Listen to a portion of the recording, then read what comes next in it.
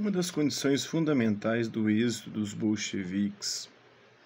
Hoje, sem dúvida, quase todo mundo já compreende que os bolcheviques não se teriam mantido no poder, não digo dois anos e meio, mas nem sequer dois meses e meio, não fosse disciplina rigorosíssima, verdadeiramente férrea de nosso partido,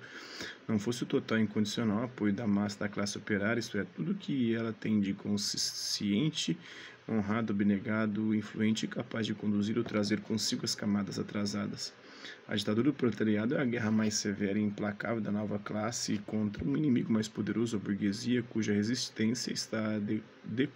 decuplicada é, em virtude de sua derrota, mesmo que em apenas um país e cuja potência consiste não só na força do capital internacional, na força da solidez das relações internacionais da burguesia, como também na força do costume, na força da pequena produção, porque infelizmente continua a haver no mundo a pequena produção em grande é,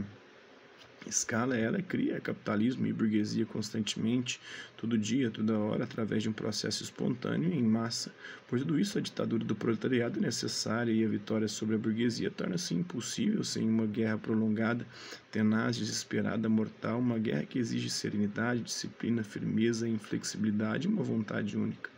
A experiência da ditadura proletária triunfante na Rússia, repito, demonstrou de modo palpável a quem não sabe pensar ou a quem não teve oportunidade de refletir sobre esse problema que a centralização incondicional e a disciplina mais severa do proletariado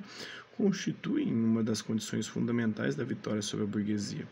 Fala-se disso com frequência, mas não se medita suficientemente sobre o que isso significa e sobre as condições em que isso se torna possível.